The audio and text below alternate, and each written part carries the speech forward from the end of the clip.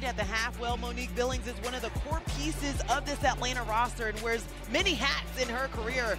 Tabitha checks in with Mo to talk about her journey to this point.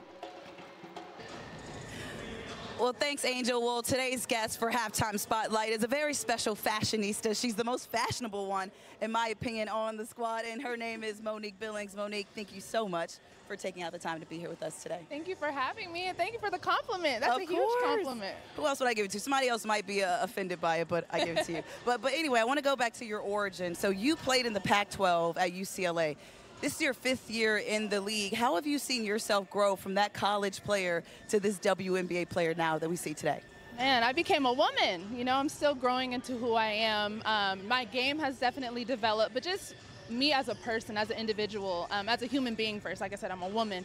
So my perspective, I would say, has changed. It's not just basketball, basketball, basketball. Like I'm, um, I have a lot of different focuses, and I know that there's life outside of basketball, and basketball is obviously the main thing, but I'm just really well versed in the rest of my life as well. Yeah, yeah. So, so on the court, you recently passed 100 career steals. Did I? Yes, you did. Versus Chicago last week, you went to 101, but that's not common for a post player to reach that milestone that quickly. Where does your commitment to defense come from? Wow, I didn't even know that. So that's news to me.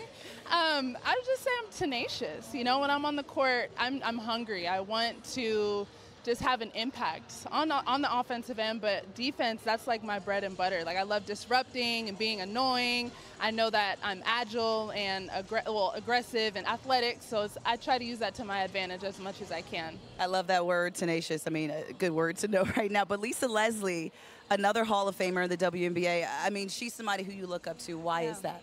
I would just say her grace, the way that she was graceful on and off the court. I she was the first person I've ever seen to do that. She was just a pioneer, and so when I watched her when I was younger, I was like, that's who I want to be like. My uh, interview that I did with Lisa Leslie, I totally fangirled over her. You would never think I was a broadcaster, but Monique, one of the things that I loved reading about you is that you live a holistic lifestyle. Um, with this condensed WNBA schedule, that has to be able to help with taking care of your body. What are some things that you do to help take care of yourself?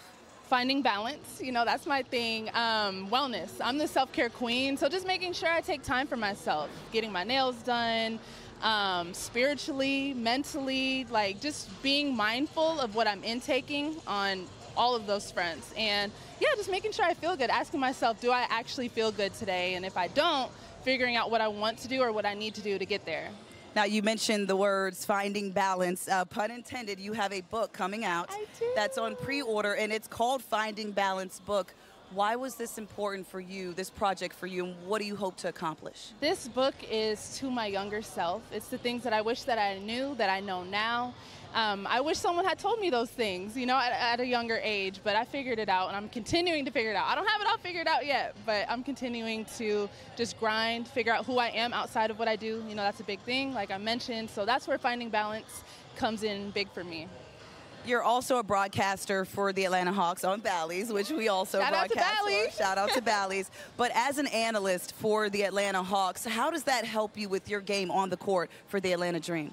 It's crazy. I didn't realize how much it would, but like watching the men's game, breaking it down, I'm like taking notes and like, okay, I'm gonna use that move. Like watching John Collins and his bunnies or um, I don't know, Gallo, his footwork, just watching the different players and how they play. And it just kind of gives me a different perspective that I've never really had before. So I love it.